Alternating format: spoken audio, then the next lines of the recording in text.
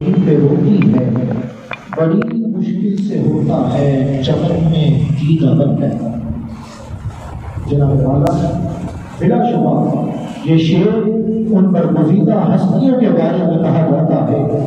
जो दुनिया में रहते हुए अपनी फ़िक्र छोड़कर दूसरों की फ़िक्र करते हैं। और लोगों को कुछ ऐसा पैगाम दे जाते हैं, जो उनकी ज़िंदगी की राहें मुतयन करने में मददगार है। और मेरे सैयदी मुर्शद किबला पीर सैयद मोहम्मद हिदायत रसूल शाह कादरी रहमतुल्लाह तआला अलैह, उन्हीं हस्तियों में से इनमें नाफे और अमल साले के हसीन इम्तिजाज अखलाक हसना के पैकर तवाज़ु मेहमान नवाजी और खिदमत गुजारी में बेमिसाल, हर तबका यकसा मकबूल किबला सैयदी हिदायत रसूल शाह सल्लल्लाहु अलैहि 10 अक्टूबर सन 1964 को इस जहान रंगे को आप रहमतुल्लाह तआला अलैहि इसी बगदादी जामे मस्जिद गुलबर किए में उस्ताद मेरा और गुलाम हुसैन रिजवी रहमतुल्लाह अलैहि से कुरान मजीद हिफज फरमाया तो सन उन्नीस सौ उनासी में आप रहमतुल्लाह अलैहि मुरब्बिया उलूम में लिए जामिया, निजामिया लाहौर गए सन उन्नीस सौ सतासी में आप जामिया इस्लामिया मिनहाजुल कुरान तशरीफ़ लाए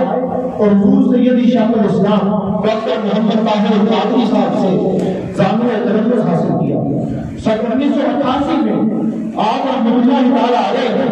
जामिया मिनहाजुल कुरान में पढ़ने के साथ साथ पढ़ाना भी शुरू किया। पढ़ने के साथ साथ पढ़ाना भी शुरू किया और इसी तरह एक ही इदारा बजट उस्ताद और शरीयत के दो अजीम फराइज बतरीका अक्सर अदा करने का सूना भी अपने सर से लगाया तो सन उन्नीस सौ बानवे में आप रहमतुल्लाह दारुल में तशरीफ़ लाए और अपने वालिद ग्रामी किबला सैयद जाहिद अली शाह साहब रहमतुल्लाह तआला अलैहि की मसनद पर बतौर मोहतरम में आला तशरीफ़ फरमा आज़ादी की मकार मेरे सैयदी रहमतुल्लाह तआला अलैहि जहाँ एक अजीम आशिक रसूल, एक अजीम मुबल्लिग इस्लाम, मखलूक खुदा का रंग वाले एक अजीम इंसान, एक फरमा बरदार बेटे, एक रहनुमा भाई, एक बाबा शोहर और एक मुश्किल बात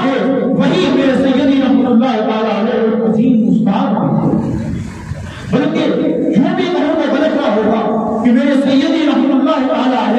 सिर्फ़ उस्ताद नहीं थे, बल्कि उस्ताद आप जहाँ तलबा की तरबियत फरमाया करते थे, वहीं साथीजा की भी तरबियत फरमाया करते थे। और आज बता मेरे सैयदी रहमतुल्लाह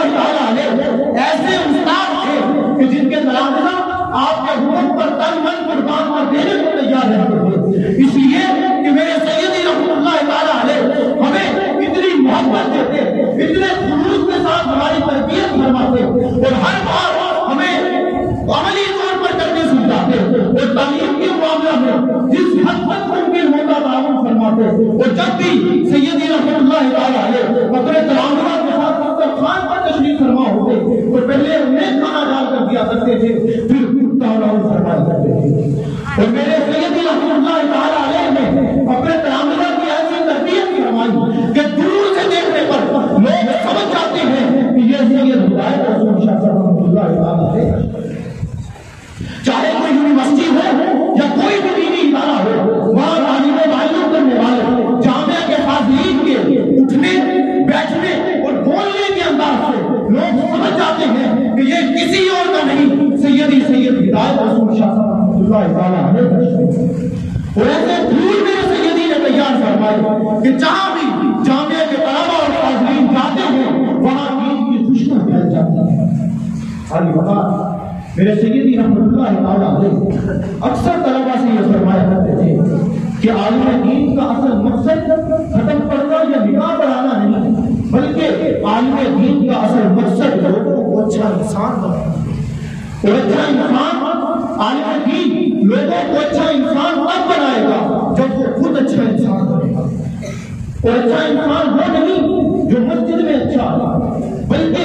अच्छा इंसान वो है, और अच्छा होने का मिलार ये है कि अच्छा वो है जो गली में, मोहल्ले में, बाज़ार में और लोगों में अच्छा हो।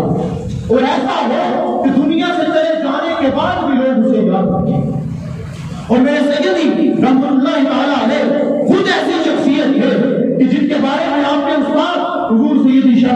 डॉक्टर मोहम्मद ताहिर कादरी दावत बरकातुह और आलिया खुद फरमाते हैं कि तमाम तलामिजा को अपने उस्तादों पर फख्र होता है। मगर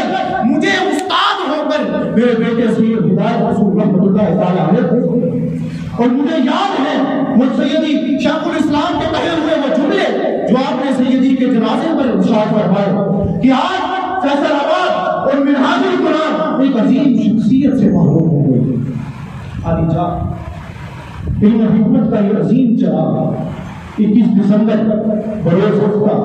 तहज्जुद के वक्त अपने लाखों तलामिजा और करोड़ों चाहने वालों को दागे बर्बाद कर देकर अपने खालिद हकीकी से जाना। और ऐसा जख्म दे गया जो क्यामत की सुबह तक नहीं मिल सकता और ऐसी ही शख्सियात के बारे में जिगर मुरादाबादी ने कहा था कि जिगर राहे वफा में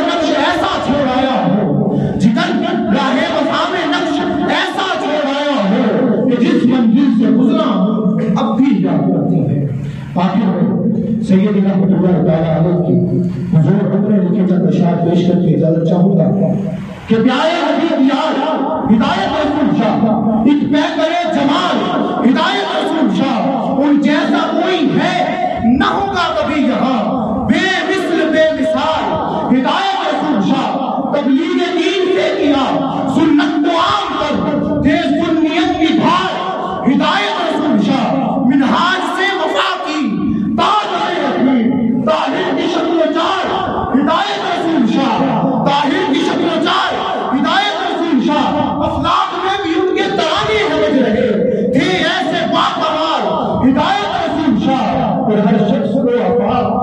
देते हो थे इज्जा हमारे जाल हिदायत रसूल शाह दुआ है अल्लाह रब्बुल इज़्ज़त हमें सय्यदी के